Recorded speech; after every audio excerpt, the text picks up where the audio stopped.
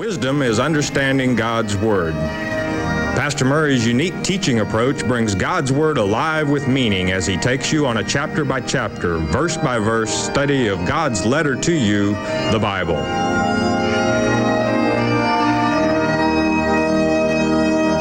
And now here is Pastor Arnold Murray.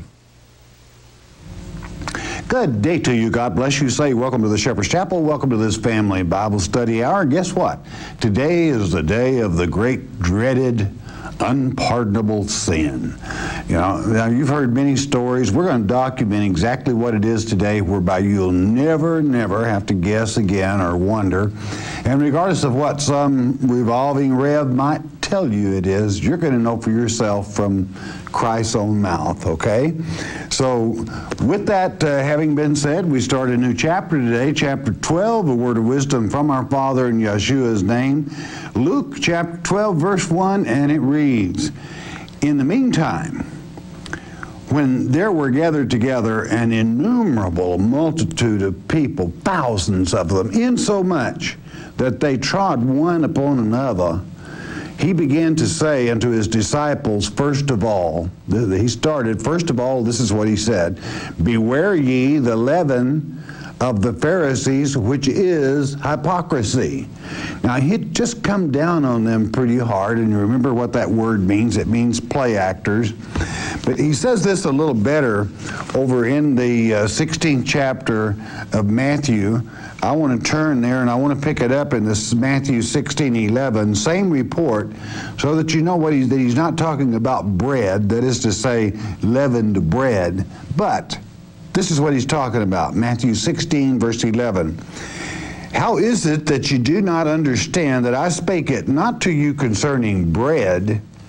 that um, you should beware of the leaven of the Pharisees and the Sadducees, 12. Then understood they how that he bade them not beware of the leaven of the bread, but of the doctrine.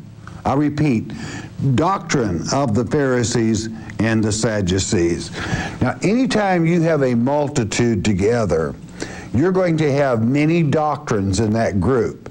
And there's one thing about a person that is bestowed, uh, that has a doctrine bestowed upon him, good, bad, ugly, in between, doesn't matter. They want to get that doctrine out. So, what Christ is saying, you be careful of it. Be very careful. And many times, in the name of Christ Himself, people will put out doctrines of men. And they, they make void the real truth. So understand that as, as he begins. First of all, he said that to the 12 that had to maintain the stability that a man, woman, or woman or child of God should. That you don't sway around with doctrines, that you stick with what is written. For that's from your father, your nearest relative, and that's exactly how it'll come to pass, not what some man might say. Okay? Returning to Luke chapter 12, verse 2. For there is nothing covered that shall not be revealed, neither hid that shall not be made known. Um, everything's going to be found out. In other words, many times it's very difficult to get the real truth out, but it's going to come out and it will uncover those that teach falsely. It's going to un uncover false teachings for the simple fact that there's only one true Christ, and what this is leading up to is, quite frankly, that you have two. And you could be deceived by the false one thinking he was the true Christ. I don't know. Did you know there is a difference? And did you know that the false comes first before anyone gathers back to the true Christ via uh, uh, flight pattern or no flight plan or whatever? Okay, the false one's coming first. Verse 3 Therefore, whatsoever ye have spoken in darkness shall be heard in the light and that which ye have spoken in the ear in closets shall be proclaimed upon the housetops. By who? Well, who's on the housetops?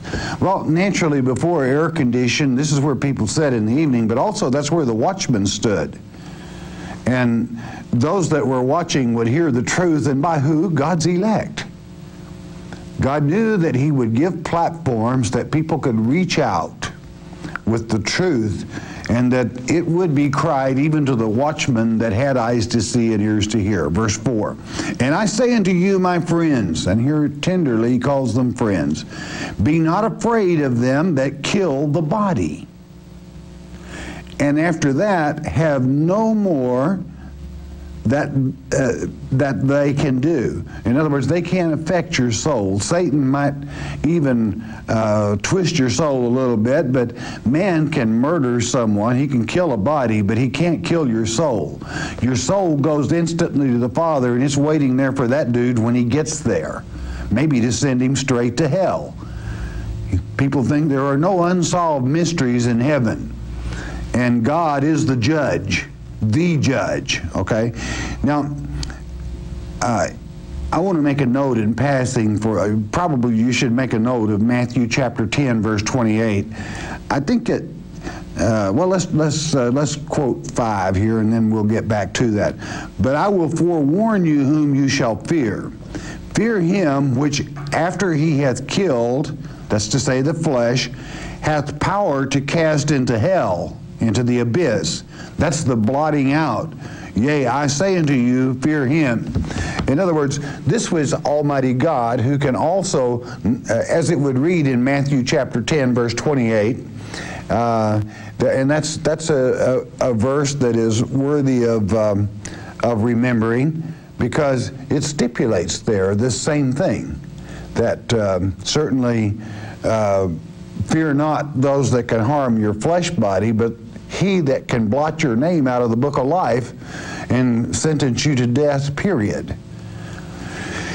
So um, there you have it. In other words, obey God and hope it pleases men. If it doesn't, tough.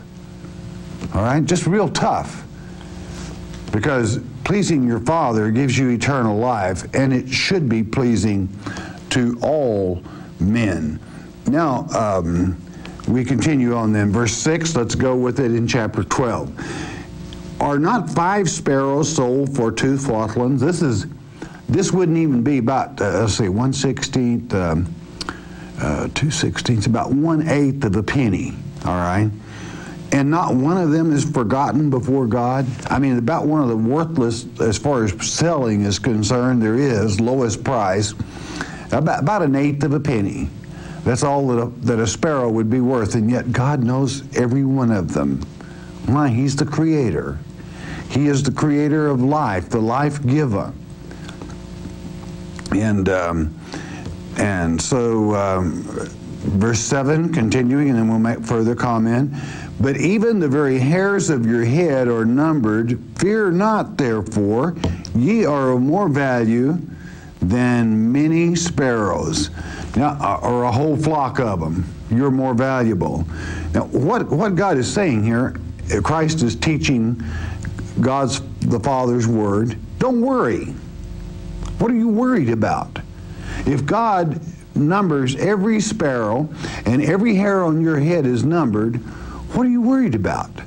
It is He that will let, allow your soul to live eternally or sentence, sentence it to death. And He loves you. And what this is going to add up to before all is said and done on worry, um, that, um, worry can add one little ounce to your life. All it can do is hurt. So that's where faith and trust in God is paramount, because from that comes peace of mind and all the attributes that go with it. That is to say, happiness, success, and so forth. Verse 8. Also I say unto you, whosoever shall confess me before men, him shall the Son of Man also confess before the angels of God. Now, this word um, confess, or as it implies, is more, it, it is even stronger. It means covenant, a very close relationship. When you testify of him, of his, uh, in truth, of course you cannot tell about Christ without the crucifixion, but what is more important and where most people fall short, they don't talk about Christ crucified. Because when you talk about Christ crucified, you've got to say, why he was crucified, where he was crucified, and who crucified him. The four W's. And um, so giving the full truth, therefore identifying, giving you in hand the key of David and so forth. He said, hey, you confess me and I'll confess you, meaning you're going to be all right in that book. Verse 9. Now we're coming up on the unpardonable sin, the only one. It is written and it is mentioned in more places than one in God's Word, but this is the more complete um, teaching concerning the unpardonable sin. Verse 9. But he that denieth me before men shall be denied before the angels of God. In other words, you de deny me even in the flesh, and you're going to be denied. 10. And whosoever shall speak a word against the Son of Man, it shall be forgiven him. But this is the other side of the coin. This is the unforgivable. But unto him that blasphemeth against the Holy Spirit, it shall not be forgiven. Now, I want to be very clear and concise, as Luke only can do here. Who is the Son of Man? Well, that's Jesus. Yeah, that's when the man is anthropos, all right? That's God in the flesh, Emmanuel, God with us. While he was in the flesh, you could talk against him and that would be forgiven. But when the Comforter was sent for a special reason, if you refuse that Comforter, when having eyes to see and ears to hear, then that is unforgivable. What am I saying? Not everyone can commit the unpardonable sin or unforgivable sin.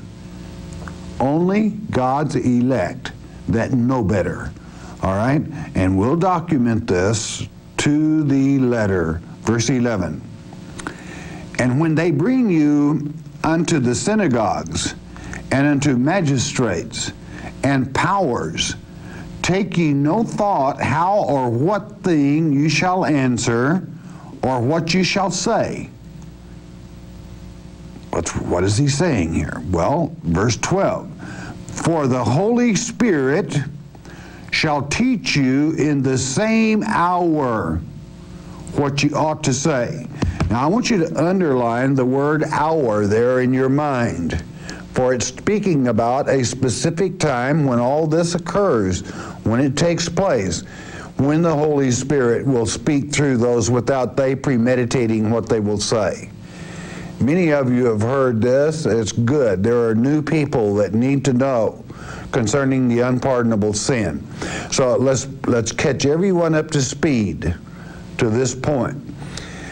Son of Man, that title for Messiah, Yeshua, is to say, well, Psalms 8, if you have trouble understanding it, make a note of Psalms 8 and cover the entire psalm and you will see that Christ being made a little lower than the angels in the flesh, anthropos, it speaks of him as he walked in the flesh upon the earth as man, anthropos in the Greek. Then any denying him then could be forgiven. He may not confess you before the angels, but that could be forgiven. But for when you were delivered up, this takes a specific trail before the synagogue of who? Satan, of course. If you denied the Holy Spirit the privilege of speaking through you in that hour, that would not be forgiven. Now, uh, let's identify, if we may, that hour beyond any doubt so that you know what the unforgivable sin is. Because many shall ask you, you've all heard me mention Mark 13 many times. We're going to go there. Mark chapter 13. And I want you to make special note of it. And this is in the simplicity in which Christ teaches. Don't try to read something into it. The, the, subject at this time, the unpardonable sin. Mark 13, Verse, uh, let's pick it up with verse 9. And it reads, same place, same subject, same hour, which I will document. Christ still teaching. But take heed to yourselves, for they shall deliver you up to councils, that's Sanhedrians in the Greek, and in the synagogues you shall be beaten. That's the synagogue of Satan. And you shall be brought before rulers and kings for my sake. Now don't overlook that. For your sake, dear one? No. For Christ's sake, you will, you will be delivered there.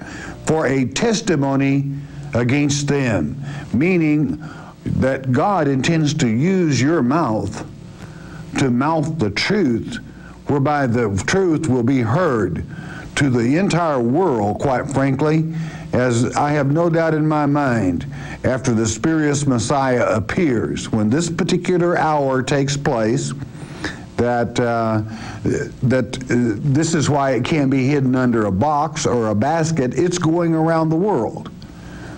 Verse 10. And the gospel must first be published among all nations. That's the purpose.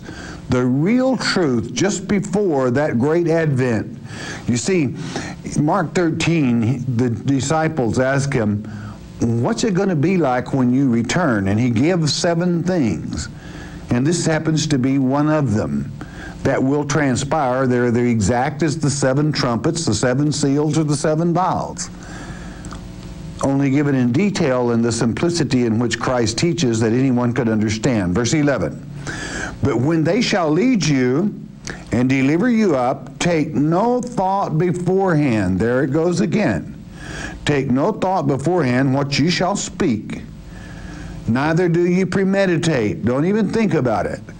But whatsoever shall be given you in that hour, underline that in your mind. There's that hour again. In that hour, that speak ye, for it is not ye that speak, but the Holy Spirit, or the Holy Ghost, if you prefer. Um, I prefer Spirit because that's what the manuscripts say. Now, we have one specific hour that this takes place in, and there's only one. And of course, that hour is the hour that we're delivered up before the synagogues of Satan when the spurious Messiah appears, as it's written in Matthew 24, Luke 21. We'll be covering this same subject again. You'll read of it in the book of Revelation, whereas the, the, um, the hour is mentioned more than one time and many other times in the Word of God, the, that hour of the Advent, the second Advent, the return of Christ as he does return. Also, it is written concerning um, the um, uh, return, if you would, of the spurious Messiah. You'll read of it and know what brings that hour into existence in Revelation chapter 17, and I think we should turn there. I think we should turn to Revelation 17 and nail down what is taking place. You've heard of how that the ten rulers will take uh, charge from around the seven areas, uh, continents, I'll call them, and be in control. But it doesn't happen until a certain thing transpires, and that's that the son of perdition appears. And uh, as you're turning to the 12th verse, I'm going to read the 11th of chapter 17. And the beast that was and is not, even he is the eighth, and of the seven, and goeth into perdition. That can only be one because there's only one son of perdition. Perdition means to perish, sentenced to death, and that's Satan. Everyone else will be judged on Judgment Day, but this is Satan. Now, verse 12 of Revelation 17 to pick up what hour we're talking about. And the ten horns which thou sawest are ten kings. They're ten men right here on earth that are going to be governors for the period of time that he's here, which have received no kingdom as yet, and they will not until what? But receive power as kings one hour, there's your hour, along with the beast. In other words, when the wound, deadly wound is healed, and he, uh, uh, the Antichrist is walking the earth performing miracles in the very eyesight of man, as it is written.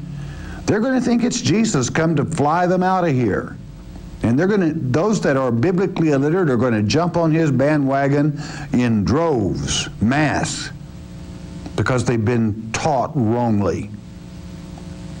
There is nowhere in this hour that it says you're going to fly. That hour is a very important time. It's the hour that Christians were. Um, let me let me start uh, that sentence again. It is the hour that gives the duties of a true Christian at the very close of this earth uh, dispensation, what they're supposed to be doing. He's counting on you that you don't premeditate before because the Holy Spirit will speak, that all children can hear the real truth. And uh, for one that knows that is coming to pass, that is to say, that the false Messiah appears first, it is unforgivable for that one to deny that Holy Spirit. I can't help it. You're not going to have it, but I've got to go to another place where that hour is mentioned. And it was written to the Church of Philadelphia, which was one of the only perfect churches out of the seven that God addresses in the great book of Revelations, that is to say, the unveiling.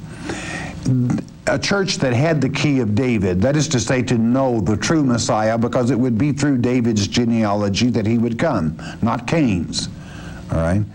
He that openeth and no man shutteth, and shutteth and no man openeth. That means that knows the truth and cannot be deceived. Verse 8, uh, I know thy works, and behold, I've set before thee an open door, and no man can shut it, for thou hast a little strength, and hast kept my word, and has not denied my name. Not denied it by, by hooking up with some false Christ or by traditions of men. Listen carefully.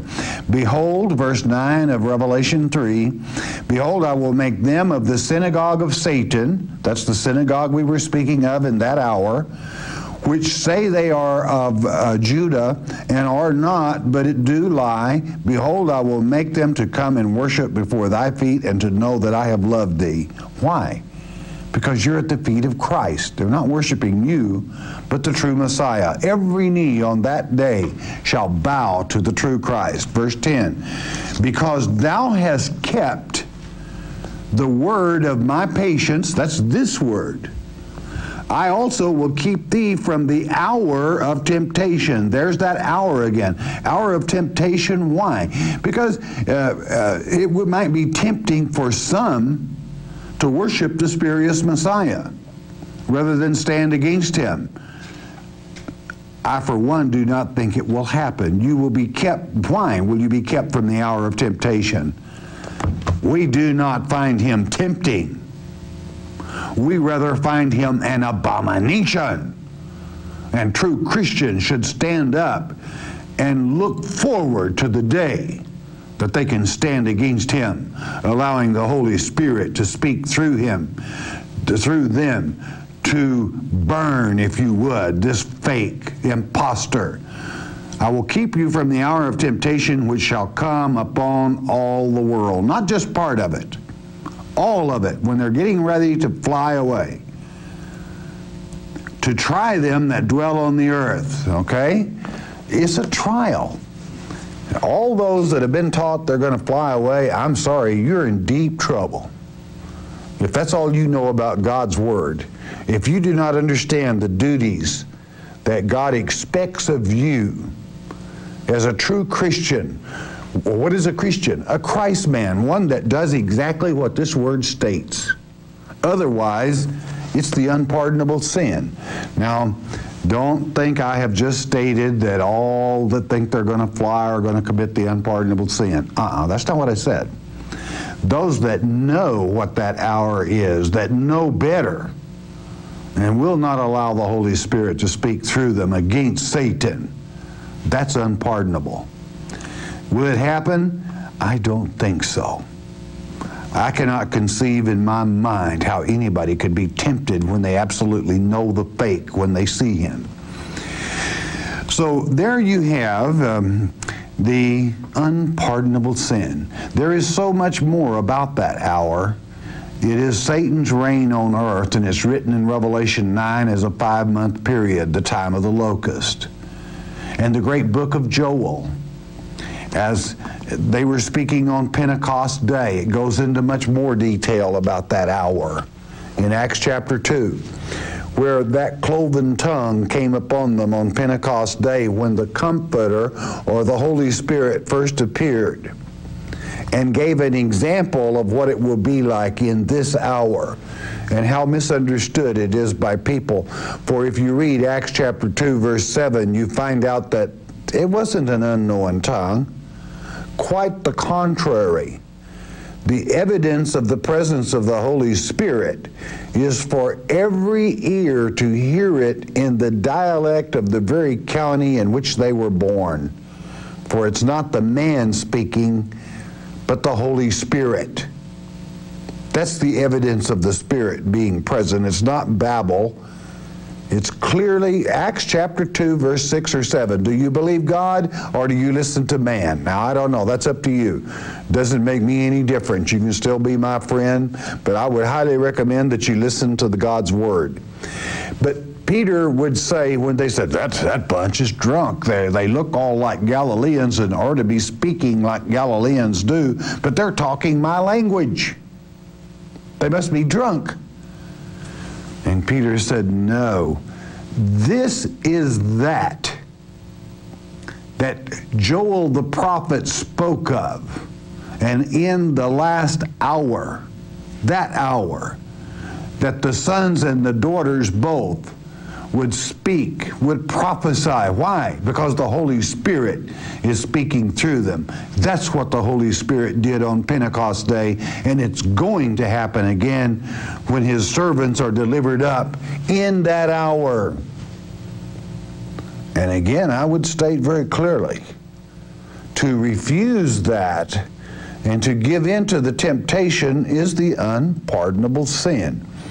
I do not believe that it will happen. I will be very disappointed if it should. I guarantee you, anyone that tries to bow to Antichrist uh, that knows better while I'm around will get a size 13 boot right where it's needed. I don't think it'll happen because God's election detest Satan and would never, under any set of circumstances, follow him. We long to see him in the abyss, and certainly that's where he will go. So there you have it. How simple to understand the unpardonable sin. Let's go down, let's recap just briefly. Only God's elect can commit it. Why? Well, they would have to know that the Holy Spirit wished to speak through them before they could deny the Holy Spirit the opportunity to do it. So that, that uh, is nailed down. It can only happen to them, and it happens in one specific hour. That's when the elect are delivered up before the spurious Messiah and allow the Holy Spirit to brand him as what he is. We'll have more on this in the 21st chapter. Look forward to it. I'll look forward to teaching it. Now, returning to Luke 12, verse 13, and it reads And one of the company said unto him, Master, speak to my brother that he divide the inheritance with me. In other words, he's, he's got a bunch there. Have him divide that up with me. Verse 14. And he said unto him, Man, who made me a judge or a divider over you. Now, this loses just a little bit in the, in the translation. What it says, I didn't come here to teach law. In other words, he came to fulfill law, not to teach it. And that would be a judge's place is to, to dis- describe the law concerning inheritance. 15, listen carefully. And he said unto them, Take heed and beware of covetousness. For a man's life consisteth not in the abundance of the things which he possesseth. In other words, really, life has very little to do with the real riches. I, I want to say that, that is to say, the riches here in this earth age. Now, I want to make it very clear that following the Word of God, you will be prosperous and you will be successful, and there is no sin in being rich. But if you build your foundation on the riches of the world rather than the riches of God to begin with, you're, you will not possess God's blessings of riches. Money, yes. Houses, yes. Cars, yes. God adds on to you the things that you need. But if you are rich with mammon, which is to say ill gotten gains, that's a curse, and you'll not keep it. It will destroy you. So the only true riches come from knowing the Father, having peace of mind, and understanding that your real inheritance comes from your heavenly Father, not your earthly Father. Okay?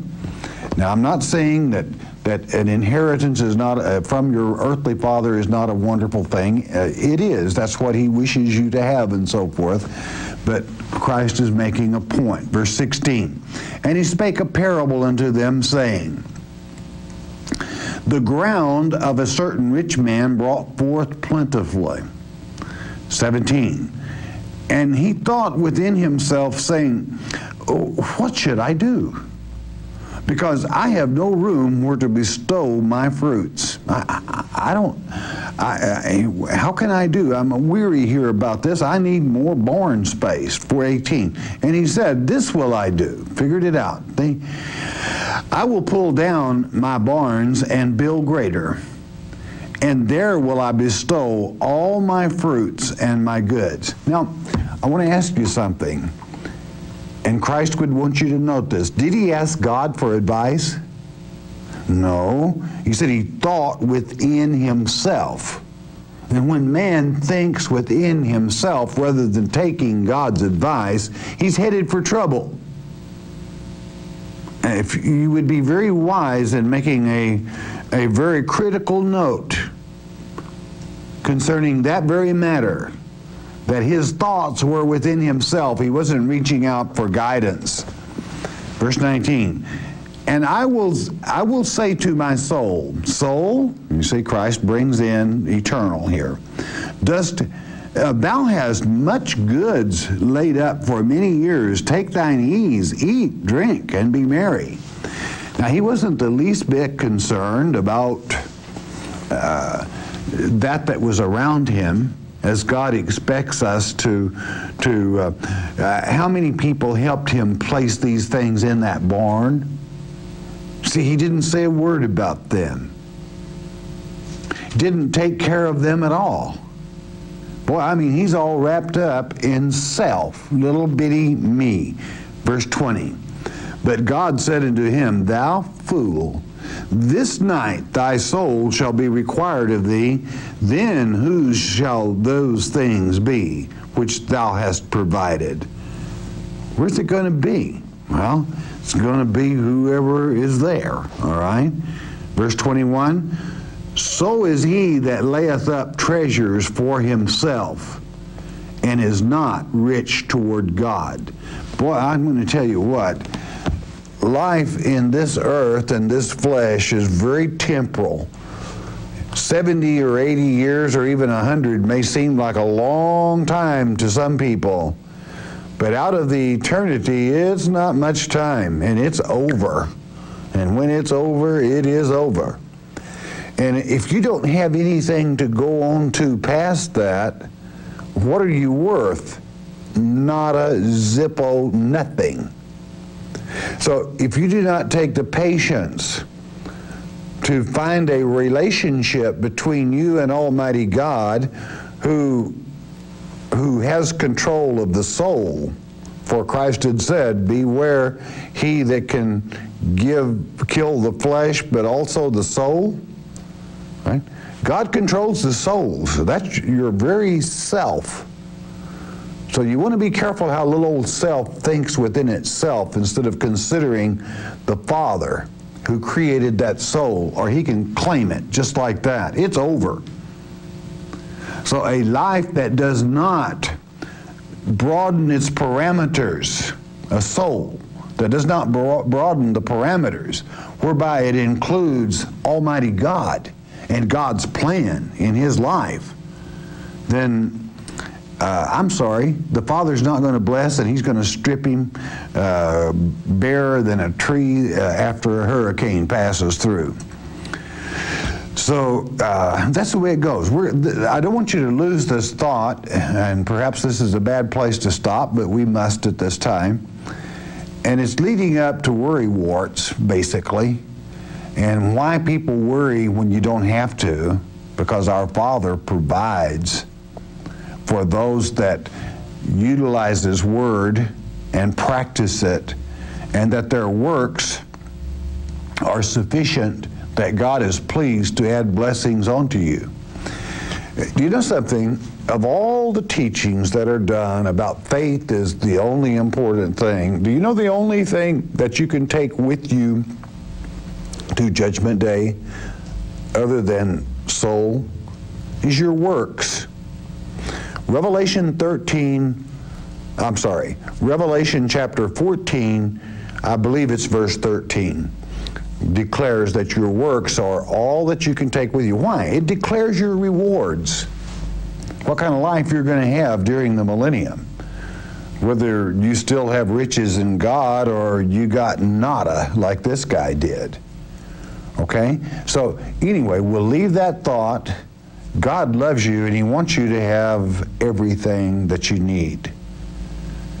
He will even help you with it as long as you do like he says and are not a worrywart, don't miss the next lecture if you happen to have a problem that's akin to that. All right, bless your heart. You listen a moment, won't you please? Free introductory package. Say, this is something we would like to offer for a one-time gift to all the new folk that study with us. This introductory package gives you a monthly newsletter, which means each month you will receive a newsletter with a Bible study.